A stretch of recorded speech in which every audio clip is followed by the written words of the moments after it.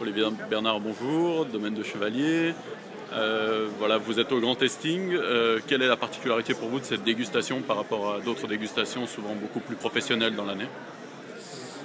Ben, C'est à la rencontre du grand public. on vient pour ça.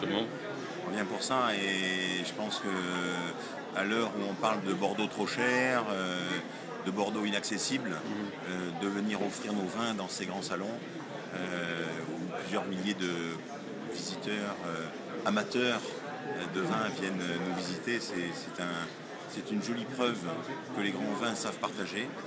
Voilà. Et puis après, euh, tant qu'au prix, euh, je dirais que sur les 10 000 châteaux de Bordeaux, il y en a 30, 40 qui sont trop chers. Hmm. Donc il en reste 9 960 au bon prix. Et, je pense que mes vins sont au bon prix. Ah bah, merci beaucoup pour le, le petit mot. À bientôt.